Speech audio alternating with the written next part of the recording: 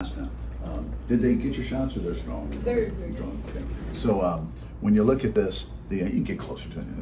Yeah, I zoomed in. Okay. When, uh, I mean, basically, all this gray stuff in here is all messed up. It's chronic infection. This is infected. This is infected. But this is worse than it was last time. Um, so that's probably why you're feeling so crappy. Um, are you allergic to any antibiotics?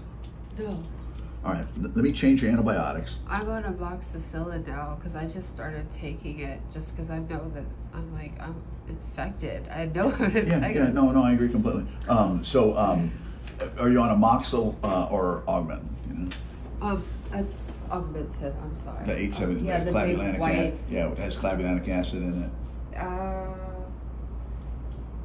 not Well, sure. I tell you, I'll give you. A, I'm going to send in a script for uh, um, what I want you on. Okay. Mhm. Um, and if it turns out to be what you're on, just take what you're on, then take mine after. it, Okay. It's different than what than the cefdinir you're on. Not necessarily better. Just covers some bacteria that the cefdinir doesn't cover. So uh, that'd be a smart move for you. Um, what we're looking at is getting this approved. You know, and tell Kristina. I mean, uh, tell uh, Alexa she needs to you know move things forward because she's miserable. Um, so the Augmentin for three weeks, or yeah, Augmentin for three weeks, so she needs a BPS and a left conscience. Um, so Alexa will get this approved. I'll work